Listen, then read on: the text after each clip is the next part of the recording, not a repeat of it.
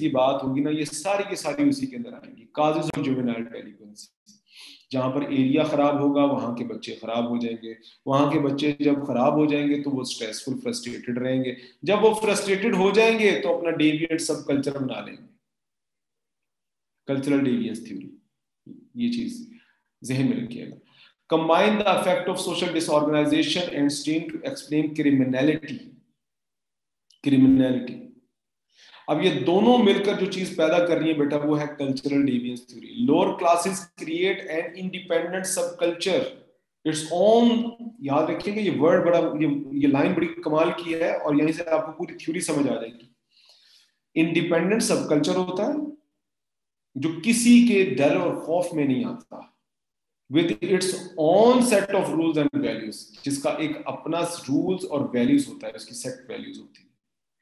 अब होता क्या, सब कल्चरल नॉर्म्स जो होती है ना, वो clash with the conventional values होती है। मेहनत की कोई वर्ड इनके यहाँ होता ही नहीं है। छीनना, झपटी, ये चीज़ें होती आपको मैंने अर्ज़ किया था ना कुछ अर्सा पहले, कुछ देर पहले कि इस एरियाज़ के अंदर लड़की को उठाकर ले आना बहादुरी होती है। पुलिस को थप्पड़ मार देना बहादुरी होती है। उनको मारना बहादुरी होती है। कानून की खिलाफ वर्जी करना बहादुरी होती है। वन विलिंग करना बहादुरी होती। सिलेंसर उतारना एक बड़ी स्मार्टनेस होती है उनके। यहाँ एक बड़ी एक्साइटमेंट होती है उनके। ठीक है, जानवरों का और कुत्तों की लड़ाई जो है वो आपस में ये करवाते हैं। तो ये सारी चीज़ें इनके यहाँ आम होती। किसी किसी को भी गन पॉइंट पर लूट लेंगे तो ये बहादुरी कहा जाता है। ये एक दूसरे को यही चैलेंजिंग देते हैं। जो डेथ गेम्स होती हैं, ये इस तरह के इसमें इन्वॉल्व होते हैं। तो कन्वेंशनल वैल्यूज़ के साथ इनकी बड़ी क्लैश होता है। तो मैं इसके साथ आपको बताता हूँ। कंडक्ट नॉर्म्स ये सेलन की theory suggest criminal law is expression of the rules of dominant culture आपको पता है कि हमारे यहाँ जो जो हमारा क्रिमिनल लॉ होता है वो हमारे जो डोमिनेंट कल्चर होता है ना उसको रिफ्लेक्ट करता है। ये तो नेचुरल सी बात है। लॉ ज़ाहिर बात है तमाम कल्चर जितने भी डोमिनेंट कल्चर होता है उसकी इज़्ज़त की यानी कि उसकी उसी की बुनियाद पर बना होता है ना वो क्रिमिनल लॉ उसी की बुनियाद पर बना तो, तो ज़ाहिर बात है उसी को रिफ्लेक्ट करेगा। लेकिन जो कल्चरल कंफ्लिक्ट होता है ना, उस वक्त आता है आपका when the rules expressed in criminal law clash with the demand of conduct norms. जब वो क्रिमिनल लॉ और आपके जो एक्चुअल में परफॉर्म होने वाले जो नॉर्म्स होते हैं, उसके दरमियान जब क्लैश आना शुरू हो जाता है।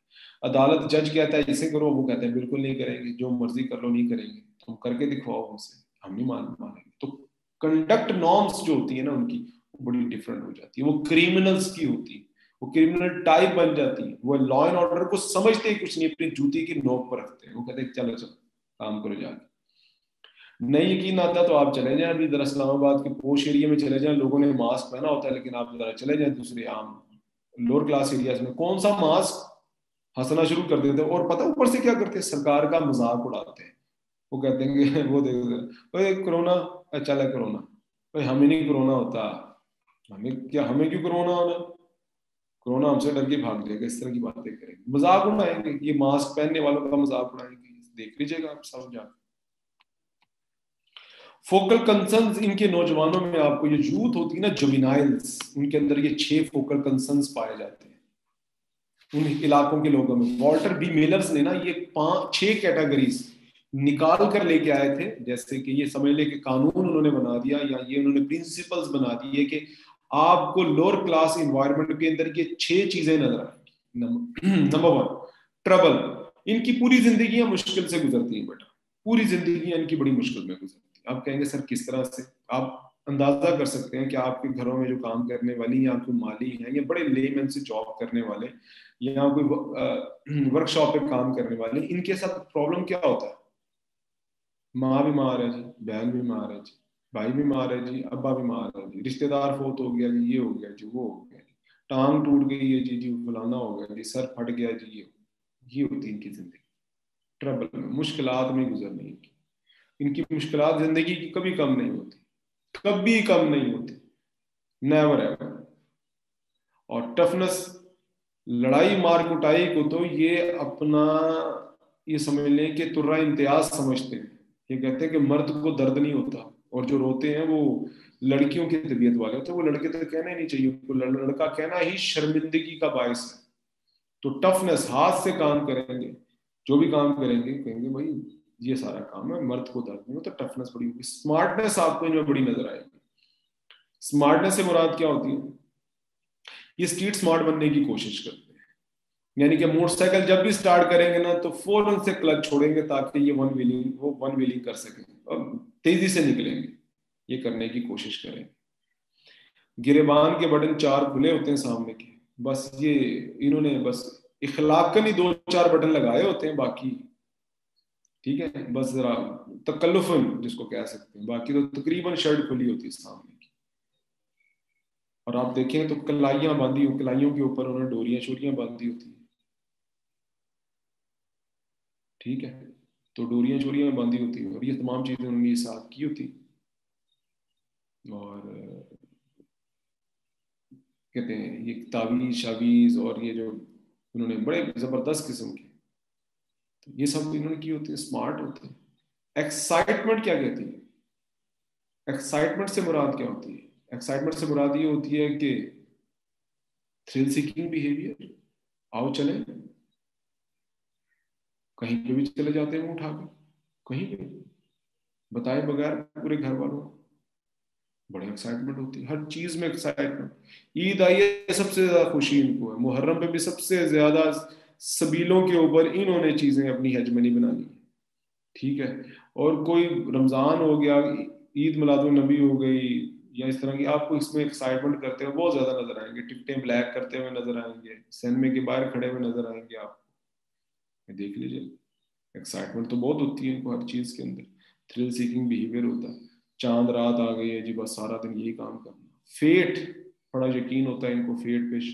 किस्मत पे बड़ा यकीन होता है। बड़ा यकीन करने वाले वो कहते हैं, किस्मत लिखी जा चुकी सरकार, अब हमें सिर्फ़ ढूंढना है। अब ढूँढने के कहाँ पर पर्चियों में, कौन सी? जुए की पर्चियों में, आंकड़े की पर्चियों में। दस रुपए का टोकन खरीदेंगे, बीस रुपए का टोकन खरीदेंगे। अब वो टोकन की पर्ची कैसे खरीदेंगे? वो किसी तरह किसी से पूछ रहे होंगे कोई नशे से पूछ रहे होंगे हाँ जी चचा बता कौन सा नंबर खेलूं? बस दुआ कर दी। अब जिस बंदे को ने कभी आज तक नमाज़ कुरान का नहीं पता उस, उसने क्या दुआ करनी उसके लिए?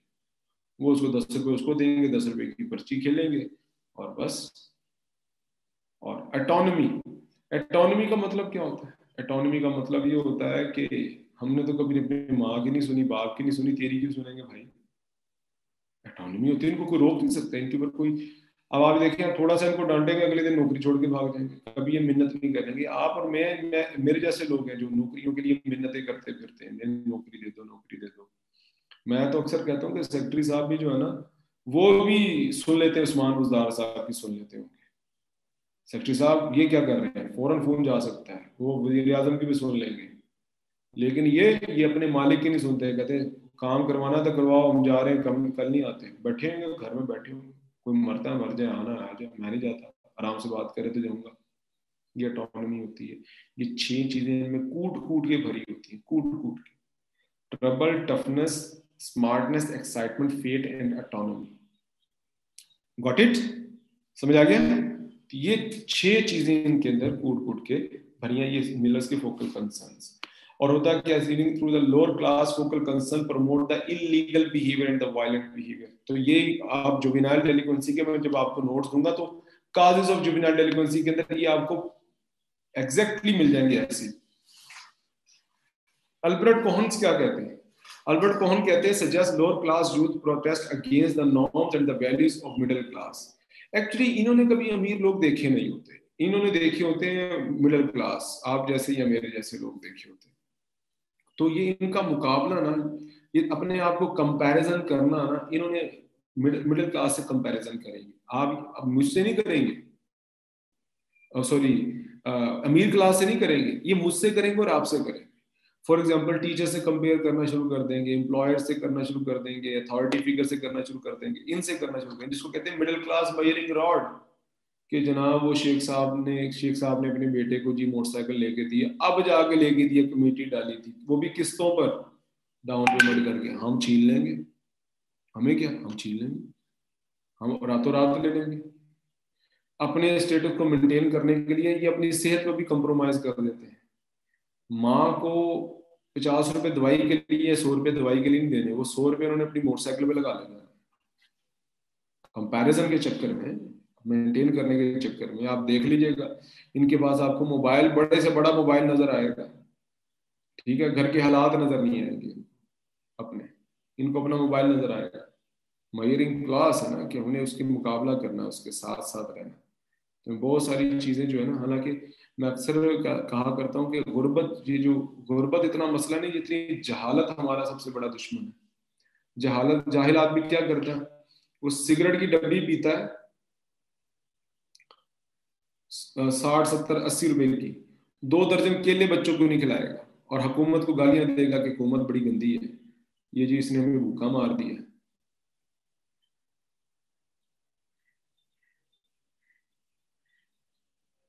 आपको खान साहब, मैं आपको बताऊँ कि मिडिल क्लास से बड़ी मुनाफिक क्लास कोई नहीं है। क्योंकि मज़हब को भी ये लोग सिर्फ़ इसलिए क्योंकि इनके पास सवाए मज़हब के कुछ और रहता नहीं है। कमेटियाँ डाल डाल के तो ये जिंदगियाँ गुजारते हैं, आप और मैं। इसलिए हम अल्लाह से बड़ी, हम अल्लाह से, अल्लाह को बड़ा याद करते हैं। सियासतदान जो होता है ना, या अमीर आदमी, उसको मज़हब की ज़रूरत उस वक्त पड़ती है जब उसने क्राइम करना होता है या उसने वोट लेने होते हैं। ठीक है? और गरीब आदमी को रोज़े से क्या क्या फ़िक्र? वो कहेगा, मैं रोज़े रखूँ या दिहाड़ी कमाऊं? तो यही काम हमारे मिडिल क्लास में होते हैं। रोज़े भी रखते हैं, दिहाड़ियाँ भी कमाते हैं, यानी कि नौकरियाँ भी करते हैं। और कमेटियाँ भी डालते हैं रूल्स और रेगुलेशन को फॉलो भी करते हैं। टैक्स हम लोग ही देते हैं बेटा। ना तो बड़ा आदमी देता है, ना गरीब आदमी देता है। वो गरीब आदमी कहता है कि मैं दुकान क्यों खोलूँ? दुकान खोलूँगा। तो मैं, मेरे पास आ जाएँगे इनकम टैक्स वाले। मेरे पास एफ़ बी आर वाले आ जाएँगे। भाई मैं रेडी में सब कुछ ठीक है। वो रेडी से कमा रहा होता है। आपकी बहुत सारी इसको कहते हैं अंडरग्राउंड मार्केट इसको बोलते हैं। तो ये टैक्स तो सरकारी मुलाजिम देता है सबसे ज़्यादा। या थोड़ा बहुत मिडिल क्लास जो है आपका वो दे देता है। कौन देता है? कोई भी नहीं देता। ठीक है? तो ये सारे मामला इसके साथ होते हैं। उसके बाद फिर क्या होता है? Cohen's lower class boy will form deviant sub culture जब फ्रस्ट्रेट हो जाते हैं ना तो फिर अपने डिविडेंट सब कल्चर बना लेते हैं। ठीक हो गया? उसके बाद अगर आप देखें तो formation of deviant sub culture जब बनाते हैं तो तीन किस्म के बॉयज़ आपको निकलकर सामने आते हैं। तीन किस्म में इन लड़कों की कैटेगरी बनाते थे, तीन किस्म के लड़के। कौन कौन से लड़के? एक। तीन किस्म के एक लड़के होते हैं। Number one corner boy corner boy से मुराद क्या होता है? कॉर्नर बॉय से वो लोग होते हैं, आपने अक्सर देखा होगा, गली मोहल्लों के अंदर लड़के बैठे होते हैं सुबह सुबह लड़कियों को सी ऑफ़ कर रहे होते हैं। बच्चों को सी ऑफ़ कर रहे होते हैं। मुँह में मसवाक लेकर ना बनियान पहन के बैठे होते हैं। पूछ रहे होते हैं, बेटा, कहाँ जा रहे हो? ठीक है, अब्बू कैसे हैं? अम्मी कैसे हैं? चलो ठीक है, सलाम कहना। कहता अंकल शेटा लड़की को जाते हुए, मैडम, अकेली जा रही है अबू नहीं जा रहे, मैं आ जाऊँ लेने? या कहते अकेली चली जाएँगी? इस तरह से बातें कर रहे होते सारा दिन वेले इकट्ठे कोई काम नहीं करते लड़कियों को तंग करते हैं। बच्चों को तंग करेंगे। ऐसे खड़े होते हैं, वो आगे खवतीन अपना मुँह पे दुपट्टा रख के तो आगे निकल रही होती है, ऐसे पागलों की तरह घूर रहे होते हैं। साथ चचा को कह रहे चचा, चाय पिला दे। अखबार के अंदर क्या खबर लिखी है आजकल? इस तरह की बातें होती ठीक हो गया? और कॉलेज बॉयज़ कौन से होते हैं? कॉलेज बॉयज़ बेटा वो होते हैं जो इल इक्विप्टेड एजुकेशनली होते हैं उनकी लैंग्वेज ठीक नहीं होती। लैंग्वेज से मुराद फिर ये होता है कि इनके जो सोशली बड़े इल इक्विप्टेड होते हैं। इनके समझ लें कि बदतमीज से बच्चे होते हैं कॉलेज में पढ़े होते हैं। इनका काम सिर्फ़ ये होता है कि कौन सी मैडम आ गए कौन से टीचर आ गए आज फरजाना ने कौन से कपड़े पहने थे आज नायला ने क्या किया था फलाना उनको कोई ज़िंदगी से कोई तो, कोई फ्यूचर का कोई गोल नहीं उनके पास होता।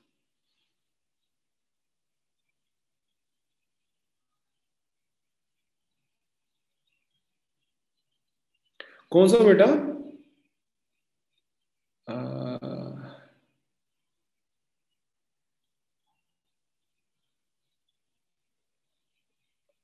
बेटा लास्ट में हम लोगों ने पढ़ा था डिसऑर्गेनाइजेशन नासिर बेटा, हमने लास्ट में पढ़ा डिसऑर्गेनाइजेशन डिसऑर्गेनाइजेशन में आपको बता देता हूँ, जरा एक वन लाइनर के अंदर। डिसऑर्गेनाइजेशन होती क्या है? ये हम लोगों ने सोशल डिसऑर्गेनाइजेशन थ्योरी पढ़ी है आज।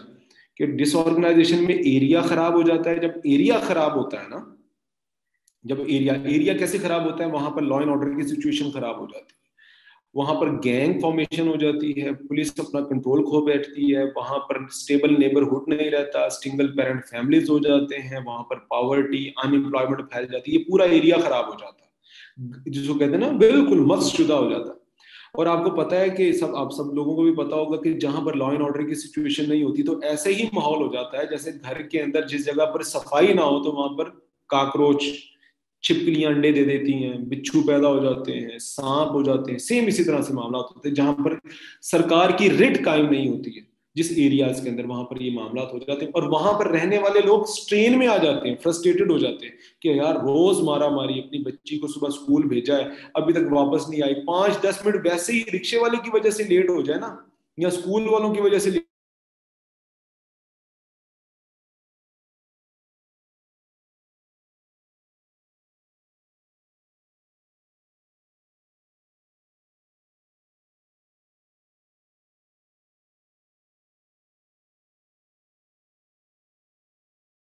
लॉ को तोड़ने में सबके सब जो है ना ये लॉ वायलेटिंग गैंग्स बन जाते हैं। एक अलहदा से कल्चर डेवलप हो जाता है उस एरिया के अंदर।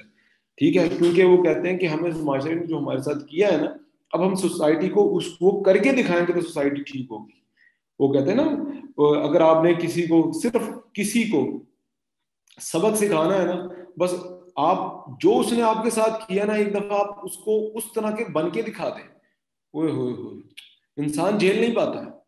इंसान झेल नहीं पाता वो उसके पाँव से ज़मीन निकल जाएगी। तो होता ही है कि फिर ये इस तरह के फॉर्मेशन डिवियंट सब कल्चर्स बन जाते हैं तो कॉलेज बॉयज़ हो जाते हैं, फिर होते हैं जो इल इक्विप्टेड एकेडमिकली होते हैं लिंग्विस्टिकली बड़े कमज़ोर होते हैं बद ज़ुबान से होते हैं और उसके बाद जो होते हैं कि कॉलेज में या यूनिवर्सिटी के अंदर ये सिर्फ़ और सिर्फ़ तंग करने आते हैं। इनकी सोशल वैल्यूज़ मिडिल क्लास के साथ बड़ी क्लैश खाती हैं। और डेलिक्वेंट बॉयज़ ये तो शॉर्ट टर्म हिडोनिज्म की तलाश में रहते हैं। शॉर्ट टर्म हिडोनिज्म की तलाश में कैसे रहते हैं? रातों रात अमीर बनने का ख्वाब होता है, इनके सर पे जनून सवार होता है कि हमने रातों रात अमीर बनना है। कोई एजुकेशन नहीं, कोई कुछ नहीं, कोई कुछ नहीं, बस engage in short term hedonism हाँ बिल्कुल बिल्कुल, नोरीन ऐसे ही होता है। आप इसके ऊपर एक इंडियन मूवी भी देख सकते हैं। बहुत सारी इंडिया ने भी इस तरह की मूवीज़ बनाने की कोशिश की है, जिसमें एक बहुत पुरानी मूवीज़ है, तकरीबन मेरा ख्याल है कि आज से पच्चीस साल पुरानी मूवी होगी। राम जाने के नाम से पुरानी एक मूवी थी, जिसके अंदर उसने पूरा एक पूरा गैंग था। आपको शायद याद होगा, आप लोगों ने शायद देखी भी हो, शाहरुख खान की मूवी थी। पच्चीस एक साल पुरानी मूवी जिसके अंदर शाहरुख खान जो है ना, वो, है ना? देखा ना वो? तो उसके अंदर वो किस तरह से उसके अंदर आपको देखता है कि वो शाहरुख खान जो है वो फांसी को कहता है वो मेरा हीरो फलाना फलाना। वो फिर एंड पे डरना शुरू कर देता है। वो कहता है, मैं जान के डरा हूँ ताकि लोग मुझे ग्लोरीफाई ना कर लें। क्योंकि उसके साथ जो यूथ होती है ना, वो उसको पूरे गैंग बनाया होता है। ठीक है?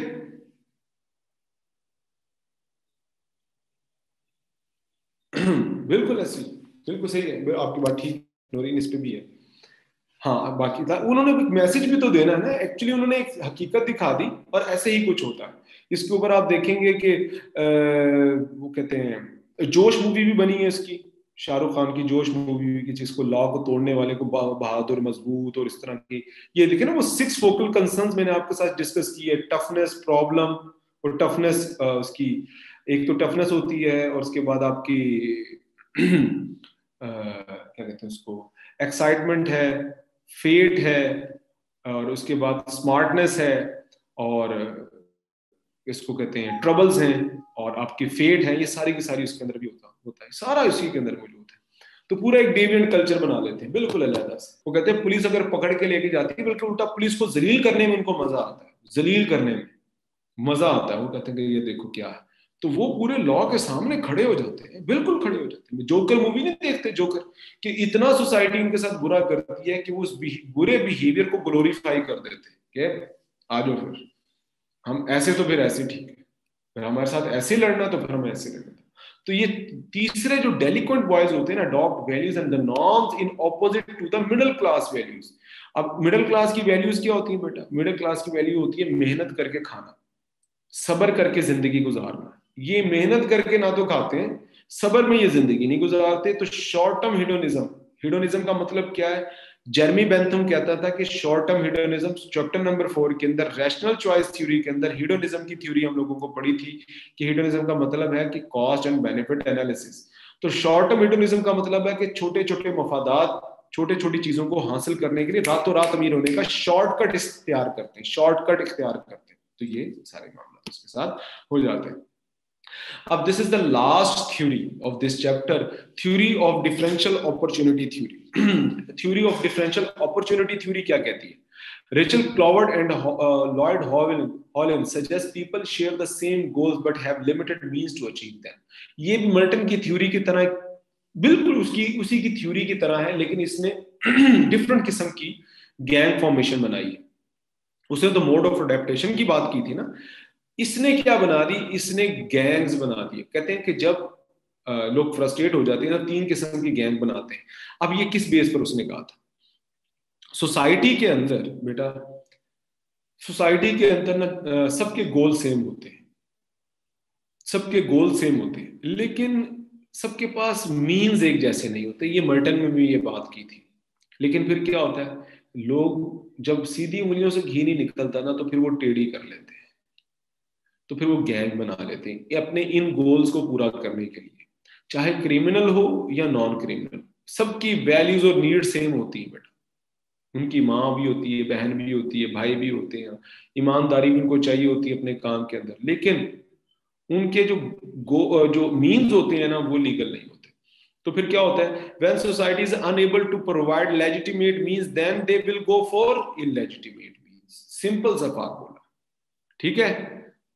आगे बात समझ में? अब सोसाइटी जब लेजिटिमेट मीन्स ही नहीं देगी तो सारी बात है फिर वो अपने वो गोल्स इलेजिटिमेट मीन से पूरे करेंगे क्राइम करेंगे। तो पहले नंबर पर भी क्या होता है? Because of differential opportunity young people are likely to join gang सबसे पहला गैंग होता है क्रिमिनल गैंग्स ये क्रिमिनल गैंग कहाँ पर होता है? Exist in stable neighbourhood stable neighbourhood के अंदर कैसे? आप कहेंगे, किस तरह से सर देखिए बड़ी बड़ी कॉलोनीज में ये स्मगलर्स बनकर रह रहे होते हैं क्रिमिनल्स बनकर रह रहे होते हैं। अच्छी अच्छी कॉलोनीज और बड़ी बड़ी कॉलोनीज में ये स्टेबल नेबरहुड के अंदर क्रिमिनल गैंग बनकर रह रहे होते हैं। अपने पूरी ज़िंदगी उन्होंने इस तरह से सेट की होती है। और ड्रग्स ड्रग्स का काम करेंगे प्रोस्टिट्यूशन करवाएँगे, सारा कुछ।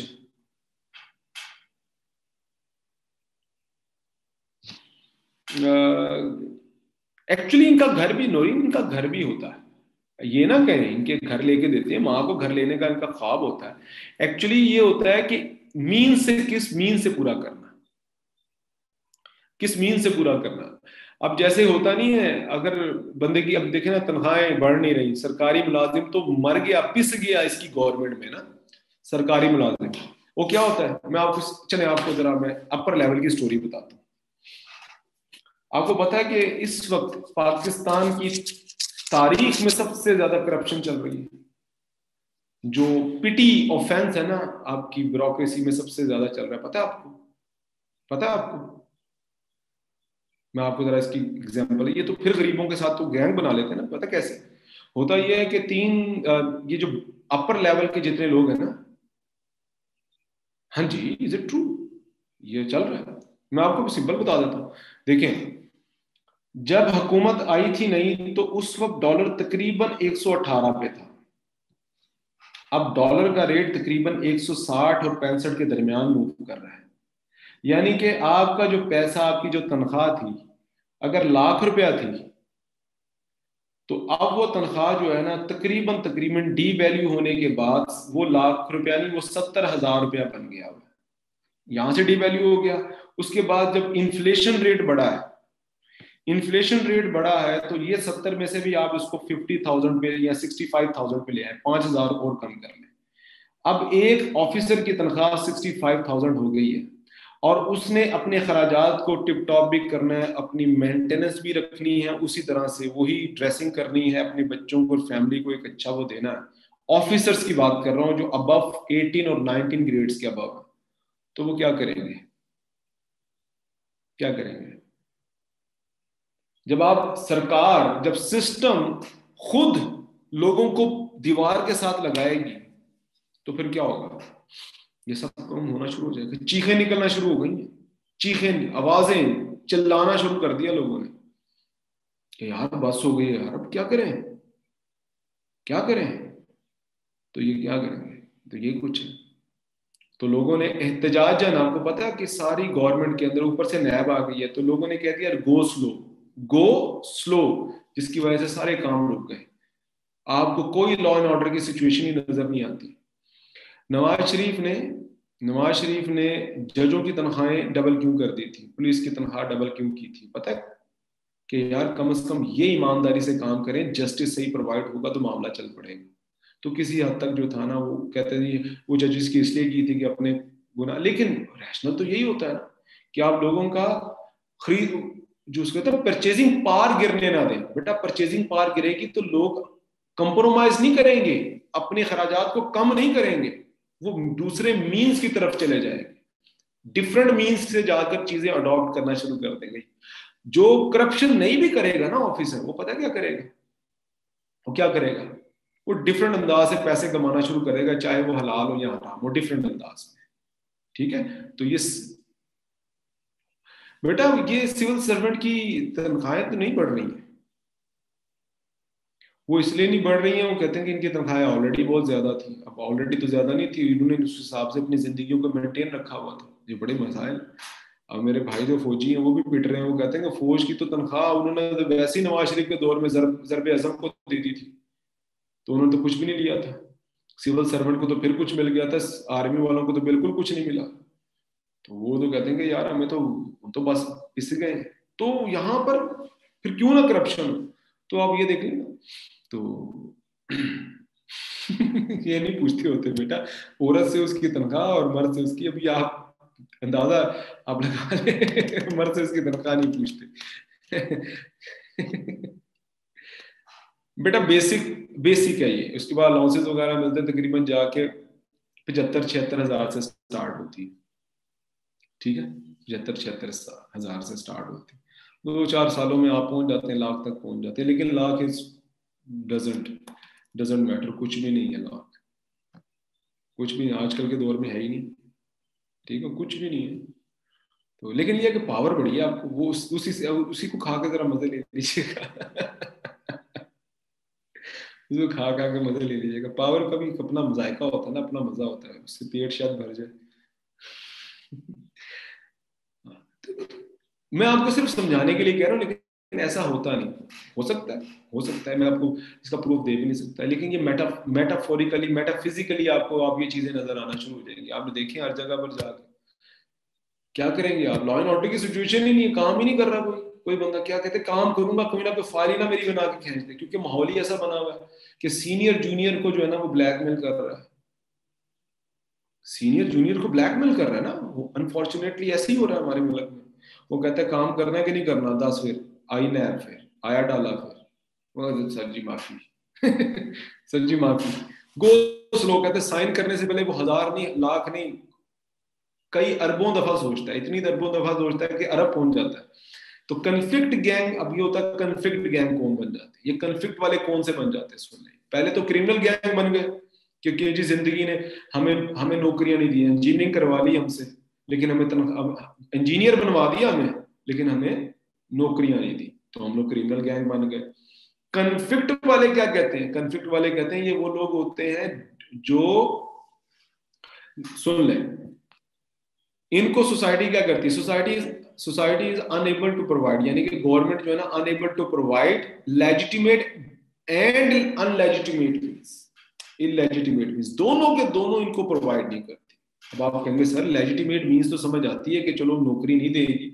इलेजिटिमेट मीन्स मतलब कि उनको क्राइम भी नहीं करने देगी। हाँ क्राइम भी नहीं करने देगी। वो इसलिए नहीं करने देगी क्योंकि जो माइनॉरिटीज होते हैं ना, उनको अगर आपको पता लग जाए ना, पंजाब पुलिस को, वो तू हिंदू है, वो तू ईसाई है तेरी ऐसी, वो तू मरजई है लंबा पालो वो उसके साथ आम इंसानों जो जो आम इंसान क्राइम करता है, उससे दस गुना ज़्यादा उस पर जुल्म करते हैं लोग।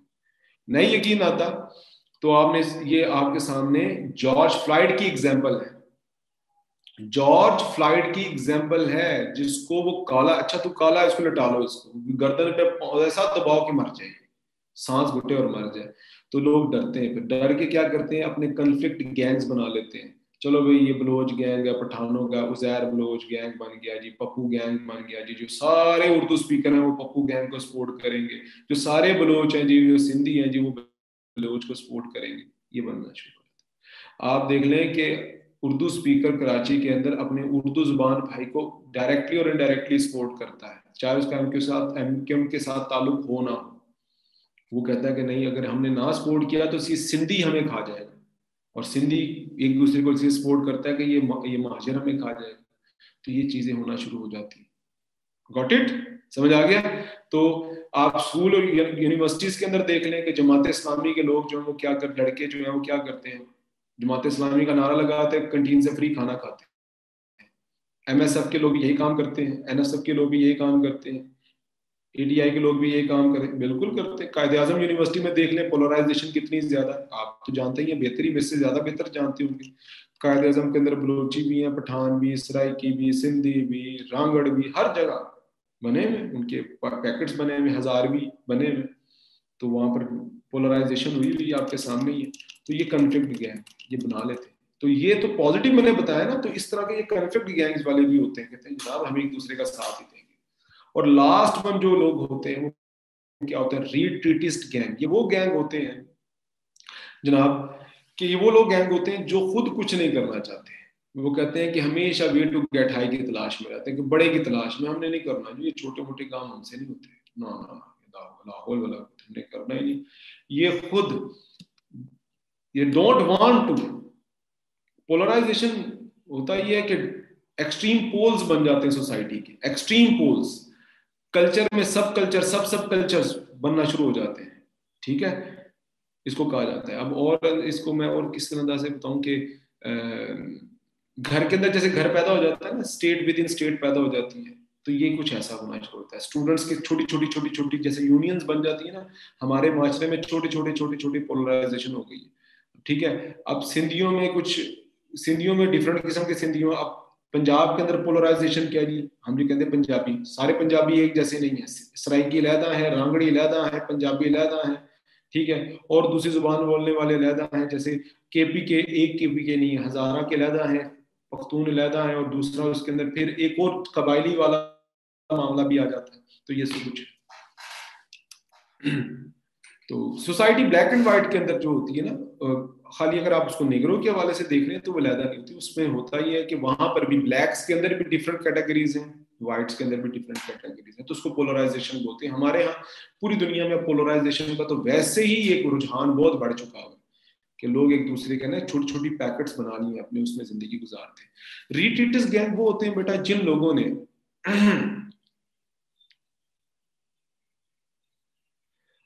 बिल्कुल ऐसे है। नौरीन, उसने सो से ज़्यादा सौ तो ये वो है ना जो रिकॉर्डेड के अंदर, सौ से ज़्यादा किए होंगे नो डाउट किए होंगे, उसको फिर गैंग की सपोर्ट हासिल होती है, ठीक है? तो वो कंट्रोल करते हैं, कराची में छप्पन गैंग थे, छप्पन गैंग फिफ्टी सिक्स नेशनल और इंटरनेशनल पचपन ऑर्गेनाइजेशन वहाँ पर काम कर रही थी। पचपन से छप्पन ऑर्गेनाइजेशन पता आपको? कराची के हालात ऐसे नहीं बिगड़े सबने अपना अपना हिस्सा डाला। ठीक? रिट्रीटिस गैंग से मुराद क्या होते हैं? वो कहते हैं कि डबल फेलियर होते हैं। ये हमेशा बड़ी की तलाश में होते हैं। ये कहते हैं, हमने नहीं, ये शराब शुरू पिए रखते हैं, भंग शंग पिए रखते हैं और काम चलाए रखते हैं। और होता क्या है? वो आप उनके पास चले जाए, तुम कोई काम क्यों नहीं करते? कहता काम करके भी आराम ही करना है तो आराम तो हम ऑलरेडी कर रहे हैं। ठीक है? और कहते आओ चलो बैठो मेरे साथ। कहते यार, दुनिया में बड़े मसाइल हैं। कहते मसाइल का हाल हमारे पास है। ये लो पकड़ो। ये पियो, एक कश लगाओ, क्योंकि मसाइल का, मसाइल दिमाग से शुरू होते हैं, दिमाग को सुकून दे दो, मसाइल को सुकून आ जाएगा। चलो, मोला ही मोला, बाकी सब रोला ही रोला, चलो। ठीक है। बाबे का नारा लगाओ। नहीं नहीं नहीं हिपीज भी कह ले। बिल्कुल, उस्मान हिपीज भी हैं, ऐसी भी हिपीज हैं। देख नहीं रहे? अच्छी अच्छी फैमिलीज़ के वो कहते हैं, वो सब इस चीज़ को बकवास समझते हैं। हाँ ऐसी। आप इंडिया में चले जाए, कुंभ के मेले में जितने साधु हैं, ये सारे यही काम करते हैं। आप जरा दाता साहब चले जाए, वहाँ बैठे सारे। दाता की नगरी में। बैठे हुए? मलंग। ठीक हो गया। तो बेटा ये रिटेस्ट गैंग रिटेस्ट है, ये कुछ नहीं करना चाहते। ये बड़ा, बड़े की तलाश में होता है। जिसने मौलाना हाथ फाड़ लिया ना, सरकार फिर देखो कहाँ जाएँगे। तो ये बेटा ये थी हमारे यहाँ, ये सोशल स्ट्रक्चरल थ्योरी की अब स्ट्रक्चर जब खराब होता है उससे स्ट्रेन पैदा होता है और इन दोनों से मिलकर जो चीज़ पैदा होती है वो कल्चरल डेवियंस ऐसा माहौल पैदा हो जाता है कि जहाँ पर ऐसे डेवियंस कल्चर पैदा हो जाता है कि जो कि डोमिनेंट कल्चर से रेजिस्ट करता है डोमिनेंट कल्चर को रेजिस्ट करता है अपोज करता है, उसके खिलाफ चला जाता है। मेहनत करना, ये अपने आप को मेहनत के लिए नहीं पैदा करते, कहते छीनना, झपटी और अपनी जो ग्रेटिफिकेशन होती है, ये डिले को डिले यानी कि सबर सुबर इनमें नहीं होता। ये लॉ को तोड़ने में इनको मज़ा आता है और लॉ वायलेशन करने में इनको बहादुरी फील होती है। ये सारे के सारे, ये कल्चरल डेवियंस थ्योरी है। आज, चले, आज के लिए बस कर लें। अगला जो मैं आपको चैप्टर सिर्फ़ दिखा देता हूँ चैप्टर नंबर सेवन है और इनशाला नेक्स्ट क्लास के अंदर ये थ्योरी वाला पोर्शन खत्म करके, पहला पोर्शन खत्म करके हम पहले पोर्शन को देख भी लेंगे पेपर्स के अंदर, ठीक है? कि हम लोगों को इसको कैसे अटेम्प्ट करना है, किस तरह से इसको कहते हैं, हम देख लेंगे। ठीक है इनशाला ताला। तो नेक्स्ट क्लास के अंदर पहला पोर्शन कंप्लीट करने के बाद हम देख भी लेंगे इसके ऊपर किस तरह से सवाल पूछे जाते हैं। तो उस तरह से आपको सवाल अटेम्प्ट करने हैं। ठीक है बेटा? तो इनशाला नेक्स्ट क्लास में साथ के साथ पेपर करने किस तरह से सवाल पूछा जाता है। अपना ख्याल रखिएगा बेटा।